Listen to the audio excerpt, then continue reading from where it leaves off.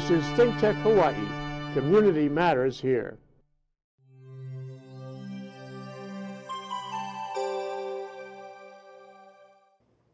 Okay, it's Wednesday. We're doing Community Matters with Tom Yamachika. He is the president of the Tax Foundation of Hawaii, and he helps, under, helps us understand so many important things about the way our system works and doesn't work uh, in the square building, and about the taxes we pay, and about the benefits we get. Welcome back to the show, Tom. Thank you for having me on the show, Jay. You wrote a very interesting article in Civil Beat a few days ago, um, and it was about uh, a provision in the existing, what, state constitution requiring a balanced budget. A lot of people, you know, know about that, but the article was interesting because it revealed that that provision doesn't work so well. Can you talk about it? Sure. We have a, a provision in our state constitution uh, giving what's called an expenditure ceiling. Okay, and um, when we have expenditures that are uh, going to exceed the ceiling that are proposed by the governor in his budget, for example, uh, the governor is supposed to, you know, say, oh, we're going to exceed the ceiling by X million dollars, and here's why. And then the legislature is supposed to sign off on it by passing a bill uh, with two-thirds majorities, uh, you know, with with the uh, the overage and the reasons for it. So, so, so I, I kind of looked at the uh, the governor's um, budget, the, the, supplemental appropriations budget for fiscal year 19, and and he's and there's you know something in, in the appendix there uh, that says, yes, we, we are going to um, exceed the budget. And the reasons for this excess, I'm quoting now, uh, are the substantial costs of social assistance entitlements, support for public education, fringe benefits, and other critical requirements. In other words, government costs money. We know that. Yeah, we know what, government where's the surprise money. here? Yeah, yeah, where's the surprise? Is there anything unusual in anything that I just mentioned? Oh. So, so why would that be a justification for, uh, you know, busting the, busting the budget ceiling? Well, I, and another question that flows out of that same quote, so to speak, is wait a minute, it's against the law. In fact, it's against the Constitution um, not to have a balanced budget. And uh, isn't he saying that he's not going to be able to follow that? That he will, in fact, not follow that? No, uh, the, the, the, the balanced budget uh, provision is, is in a different place, and they always balance the budget. Now, when they give the budget to the legislature, it may be out of balance. And I, and I think the last time uh, they gave it to the legislature, it was $200 million short. So, so, so then, you know, the, the, the, the poor people at, at the legislature had to make up the difference uh, somehow by, you know, nipping here, tucking there, uh, but they had to make up $200 million. And, and it was not a pretty process. Uh, I, I, I, do you know, feel for the, uh, the legislators who were caught in the middle trying to get that done. But they had to pass a balanced budget because that's, that's one of our constitutional requirements. So the budget comes up, say, $200 million in excess of a balance.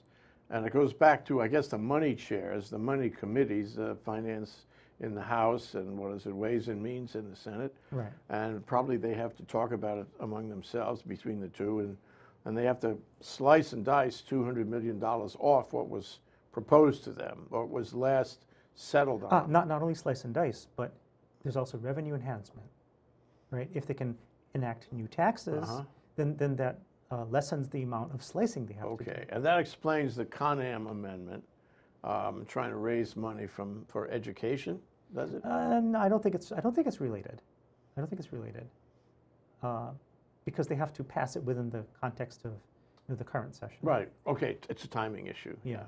Okay, so, uh, you know, I always wondered about this, Tom, is how, how fine a point can you make on the budget? Uh, so 200 million is a, you know, that's, that's visible like a neon sign at 10 miles away. but, but, you know, what about, what about 1 million or 5 million or 10 million? I mean, how, how accurately can the legislature actually balance the budget? It's a moving target, isn't it? Um, because you don't know exactly what your revenues are going to be. For that matter, you don't know exactly what your, what your, you know, check writing is going to be. Uh, Yeah, how so what, close so can what they get? so what they have to do is, uh, the state constitution also provides for uh, a forecasting mechanism called the Council on Revenues, or Mm. COR.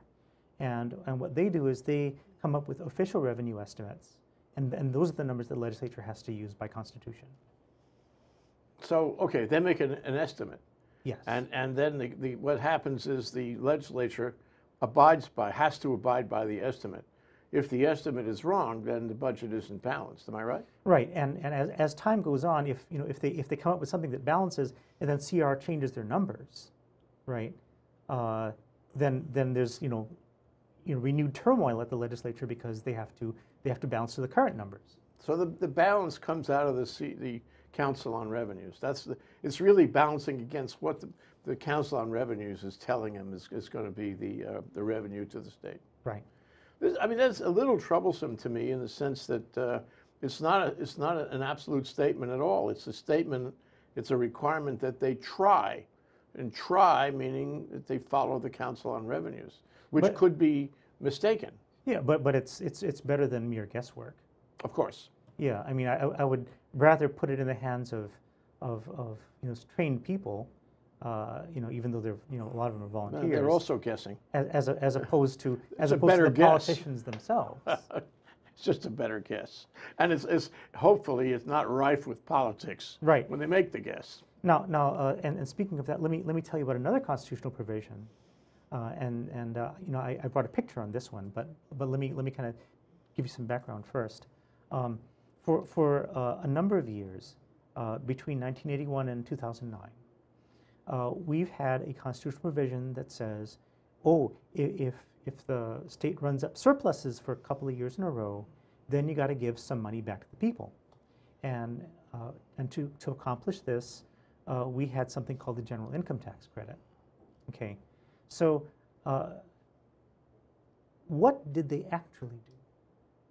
We've had surpluses. We've had surpluses for, let, us say, um, uh, 20 out of the last 29 years.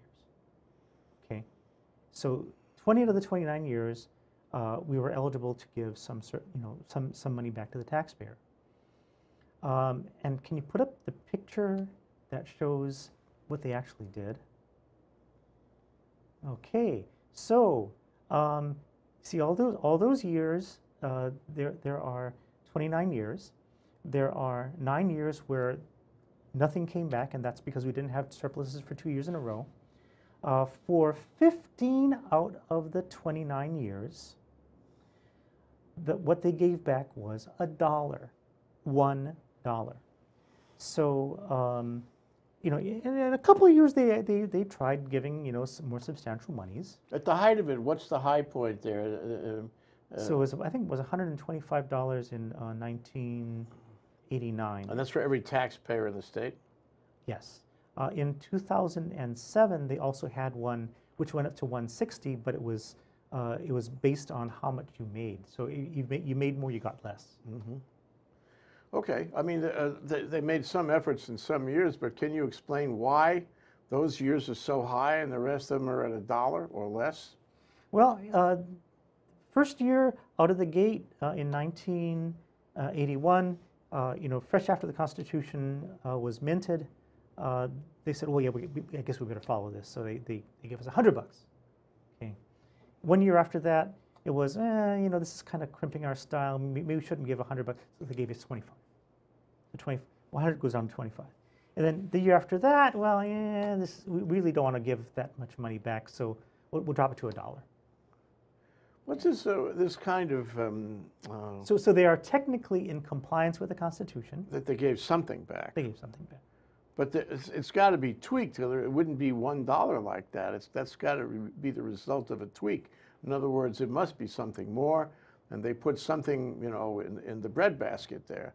Um, can, can they do that? Can they put as much in the breadbasket for next time around as they want? Uh, technically, yes, because the, that's the way the constitutional provision was written. It didn't say they have to rebate all the money back. They just, they just have to rebate some. And, Some, uh, and they, and they have, the, and they did. they can choose a dollar as some. They, they did. And then in, in 2009, of course, uh, what happened is we had a, you know, a, a provision that went to the voters and it said, oh, instead of rebating this $1, would you allow us to put some more money in the rainy day fund? Uh, and then later on, it was a further amendment. Uh, so instead of you know, putting the money in the rainy day fund, can we go, you know, make provisions for unfunded liabilities or, you know, other things like that? And, and the voters said yes. So no more general, uh, no more general income tax credit after that. So 2009 was the last year. I remember in Linda Lingle's time, she was uh, chasing the, uh, what she called, what uh, I think everybody called, the special funds. They were sort of mysterious, and they were funds that money stayed in there for years and years, and it was not clear whether it would ever come out. I mean, does the legislature have that power? I mean, should we do something about this? Where the money could be sort of cockroached in the corner somewhere, and we wouldn't even know about it, and only special members of the government would know about it, and they could Yeah, put there- there's, there's been, there's been a big fight in the legislature every year. Uh, You know, there, there are uh, people, you know, like Sylvia Luke, for example, who, who try to ferret the, you know, these, these uh, pots of money out and, uh, and, and get rid of them so they can be appropriated like any, anything else. Uh, We've also advocated for that in, in the foundation because that increases transparency. You have, you know, uh, money that's socked away somewhere uh, out, outside of, um, you know, outside of the sunlight. Uh, that's that's not good for transparency. That's not good for you know, a good governance. Um, but but agencies love them. Agencies love them. They, they, they said, oh, we, we need to have this program and we need to have it uh, a dedicated funding source. Otherwise, you can't be sure uh, that this that this program will, will continue to exist. So so they've um, uh, and and they've and they've gotten a lot of uh, like interest groups uh, that are aligned with the industry's mission, uh, the uh, agency's mission, uh, to buy into that. For example, so uh, so if you have like De- Department of Land and Natural Resources, uh, they advocate for like you know special funds for land preservation and and uh, taking care of the environment, and, and the and the environmental groups are all in. You know, you got to do this, you got to do this, um, and then you know and they and they fight with the uh, with the money committees who don't want them. Uh, so, uh, an unending battle. Yeah, interesting. And your chart shows that in recent years, it's it been a dollar or zero, and there hasn't been any significant return of tax money to the taxpayers. Uh, At the same time, I, I- you know, my information is the same, is that, is that the money builds up in these funds we didn't even know about. And I guess if I'm a legislator and I want to get rid of money, I mean, get it off the table, put it away somewhere, so I don't have to return it to the taxpayer. There's lots of ways for me to do that through these special funds, no? Well, I mean, and you don't even need to do that because there, there are current needs, um, like unfunded liabilities. Okay, we, we, we've been talking a lot about those. We have a problem.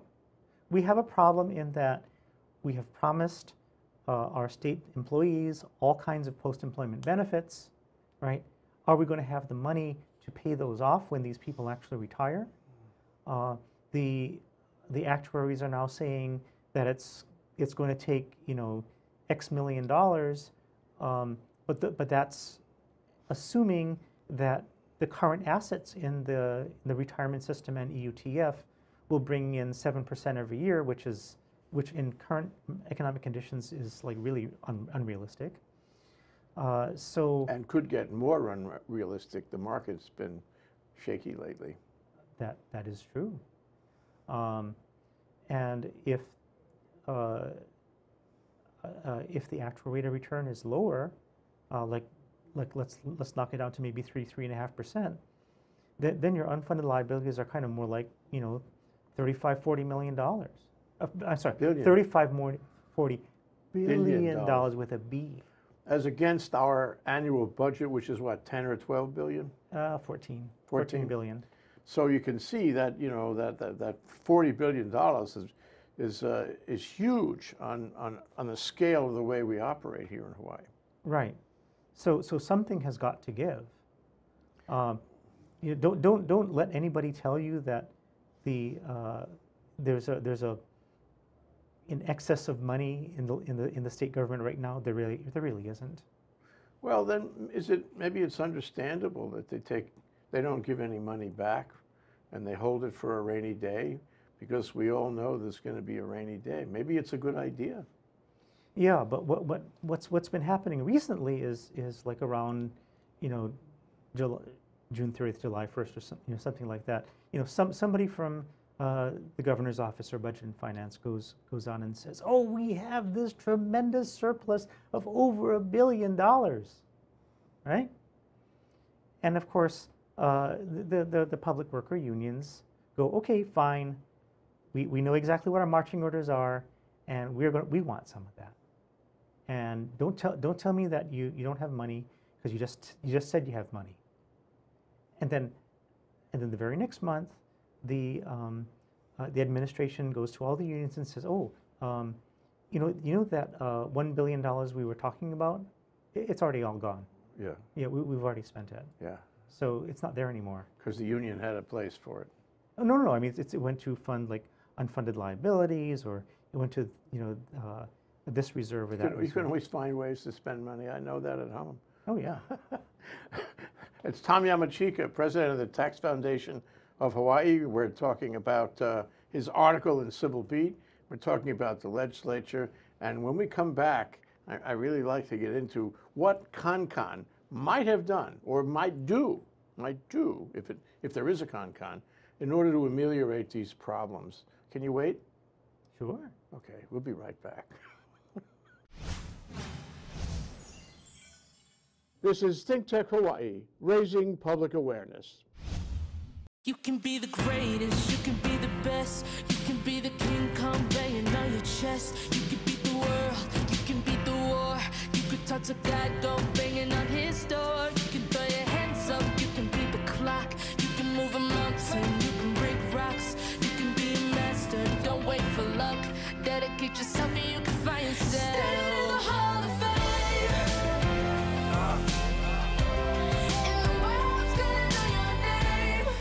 Hi, I'm Bill Sharp, host of Asian Review here on Think Tech Hawaii. Join me every Monday afternoon from 5 to 5:30 Hawaii Standard Time for an insightful discussion of contemporary Asian affairs. There's so much to discuss, and the guests that we have are very, very well informed. Just think, we have the upcoming negotiation between uh, President Trump and Kim Jong Un. The possibility of Xi Jinping, the leader of China, remaining in power forever. We'll see you then. We're back with Tom Yamachika, president of the Tax Foundation of Hawaii, talking about balancing the budget, um, talking about his article in Civil Beat, um, talking about CONCON and what it could do to help ameliorate these problems around our, our budgeting difficulties, yeah? Well, you know, what you have to realize is that all of the provisions that I talked to you about, uh, the one about the, um, you know, rebating monies to the people, about the uh, expenditure ceiling, we also enacted a debt limit uh, and, and a balanced budget uh, provision. Those all came out of the 78 CONCON, all of them. Uh, and, and, and they were trying to restore some semblance of, um, uh, you know, responsible budgeting to the legislature. Because at the time it was perceived that you, got to do something, otherwise the legislature can go out of control. Uh, boy, were, were, were, were, were they, they, did they have a point? Yeah. Uh, so, but, the- but, but the problem, I think, was that the provisions that they enacted, they basically had no teeth, right? Um, the the provisions basically said, well, okay, you, you, you need to state your reasons why you're not doing it this way, and you need to maybe ha- you know, have a few more votes. Um, easily done. Easily done. So it, it was very easy for the legislature to beat these provisions into submission, especially if we in the electorate weren't watching or, or, or, or didn't, didn't raise a fuss. And, and we didn't because that's that's not the kind of people we are. Um, so you know what could be different this time? You know, one, we could have a con-con, and we could enact uh, some more, uh, you know, s- some some fiscal provisions that had that actually have some teeth in them this time. Okay, because because because we know from experience that you know you, you put something in there, it's aspirational, or if there's a really low hurdle to jump, they'll jump it. I mean, that, that's what experience has taught us. Uh, or uh, we as a people have to be more vigilant, and we have to know when these uh, we, when these departures from sound fiscal policy surface, and we got to say something to make sure that lawmakers toe the line. You know, we, we, we can't, you know, make it so that they can, you know, jump over the line without consequences. There've got to be consequences. Yep. Yeah, and, and, and the tax foundation is involved in this, what, every year, all the time? You're always. Yeah, we, we, we try, we try to make on it. people are informed, make, make sure that people are informed Yeah. so they can make, uh, you know, good decisions about how to proceed or, or, or how to, how to follow what, what, what's actually going on in the square building. Well, let me make you, um, let me make you the con-con. Let's assume for this discussion that the vote on the con-con is positive in November, two weeks from now, and uh, they see these problems and uh, they try to tackle them. What sort of amendments would you want, would you like to see to create a greater fiscal responsibility? Well, um, I, I'd like to see an expenditure ceiling with some teeth to it. Okay, the, um, uh, the provision that was put in in 78 was, you know, expenditure shouldn't be growing faster than the rate of the economy. Makes sense. Fair enough. Yeah. Um, and, and if there is some kind of, you know, dire emergency, then, uh, th- then yeah, they can break this, but it's got to be, it's got to be some kind of dire emergency. And, and it's not something that you, you break routinely or every year or every two years. Okay. Um, even, you know, back in 2001, we had, when we had the fiscal, uh, with the, the Felix consent decree, that was creating, you know, lots of more, uh, um, lots more cost for the DOE. Mhm. Uh, you know, we should have realized that that is now a cost of providing education, and we should have figured it into the budget, rather than rather than just busting the budget.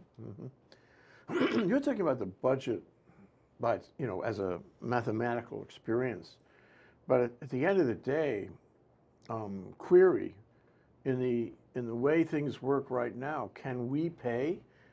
Can with this economy, the size of the state, the population of the state, the skill set of the state, can, can we pay uh, the 40 billion or whatever it is in unfunded liabilities in a timely fashion?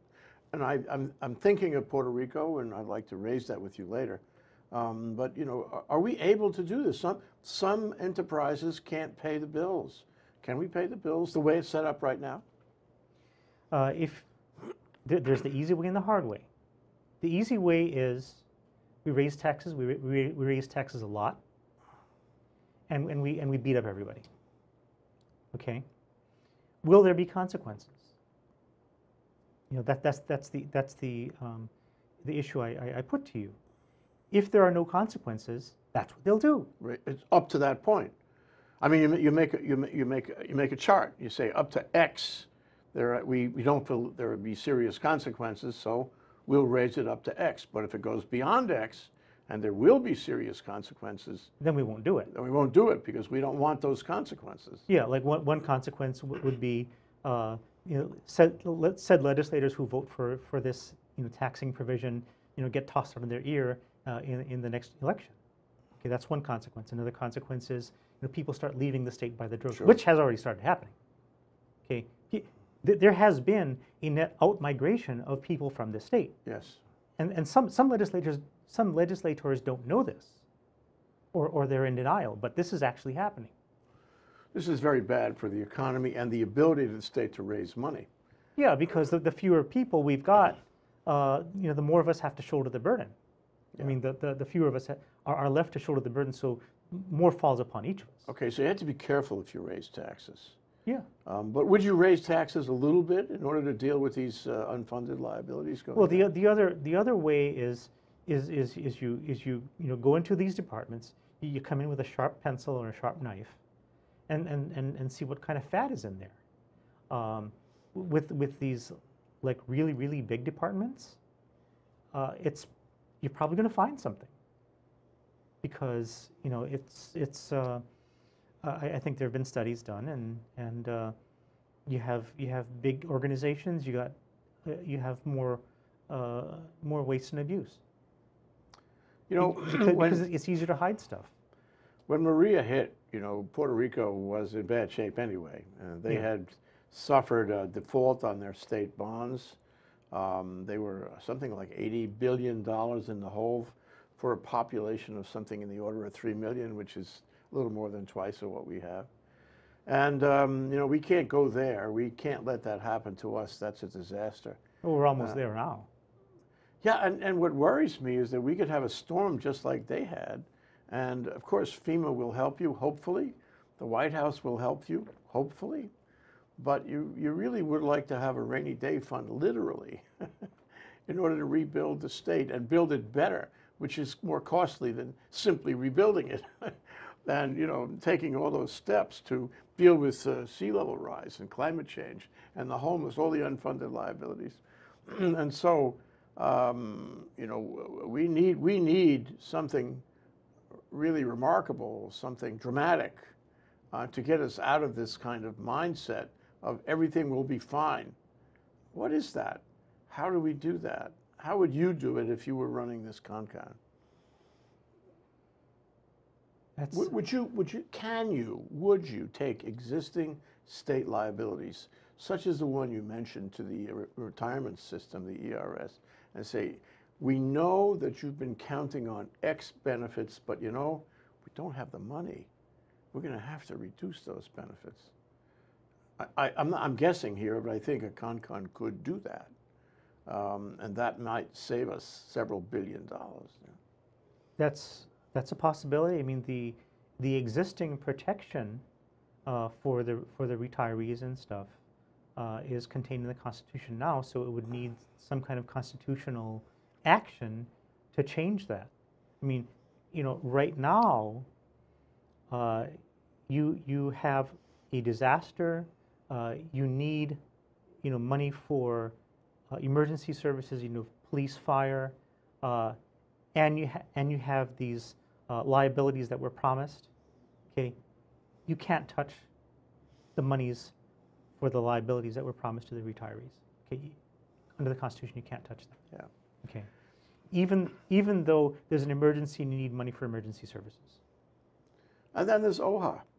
You know, I mean, a lot of people are uh, have have a, connect OHA with CONCON, uh, either on the on the side of o, OHA it costs too much, it's a, it's a waste, it's inefficient, it's corrupt, um, so we should knock it off and save that money. And I and I think there's a lot of money goes right off the top into OHA, um, or uh, other people are afraid that OHA will come in there and, and try to ask for more money not less. And so there's this fear on both sides, and I think it plays in, in this CONCON, in, in whether to do a CONCON. Uh, don't you agree that OHA is a, a principal object in the conversation about whether we should do a CONCON, what would happen at a CONCON? I, I'm- I'm not so sure the principal object is OHA. I, I, would, be, I would focus more on DHHL. Mm, Okay. Because DHHL, under our current constitution, has a requirement that they be adequately funded. Okay. And there was uh, a legal dispute that was going on between uh, the branches of government. You know, um, I, I forget the name of the case, but uh, but it was it was a, it was a big case uh, re- re- re- regarding uh, the uh, alleged un- underfunding of DHHL for the last you know uh, several years. Now, one one problem is that DHHL has been able to spend their money. It hasn't. It hasn't. Uh, y- y- y- uh, they, they were get, getting money from, I think, some federal programs as well. Uh, they weren't spending the money. And, and, and the feds were saying, okay, well, if you're not going to use it, we won't give it to you. Yeah. So that's fair. Um, but, but, but tell that to the, you know, the 20 or 30,000 people who are, who are on, the, uh, on, on the waiting list for Hawaiian Homestead. You get a, you get a failure of the, uh, of the agency is what? Well, that, you know, that calls for leadership. It calls for, um, you know, the Gadfly, calls for the Tax Foundation and similar organizations. Go out there and find out whether our tax money is fair and whether it's being used fairly. And I think one of the problems is that, you know, you say the word tax, people fall asleep all around the room. Um, and nobody really wants to roll up his shoulders, nobody but you um, and, and figure out what's going on and make it right. And as a result, there's a certain amount of, um, you know, uncaring, uh, complacency uh, in the legislature and in the public arena about the subject. Yeah, now, now one, I think, good thing about OHA, that, that you mentioned OHA, uh, is that we get to, you know, we, the general electorate, get to elect the trustees. And uh, I, I- think there have been more trustees who are, in- especially the newer ones that are coming in, who, who are who are worried about uh, the future of OHA and, and how it's been expending the resources that it's ha- that it has been, uh, and, and and they want to shake things up, and, and I, they, they just need the votes to do that. Yeah. But I think it's a, in large part, it's educating them, it's educating the legislature, it's educating the agencies, it's getting everybody in the same boat, you know, with a sort of altruistic, greater good view of things, and certainly educating the people so they don't blow this off. And so you're doing very important work, Tom. We, we try to. Tom Yamachika, President of Tax Foundation. Thank you, Jay. Thank Well, you for having me on the show. We'll have you back soon. Thanks.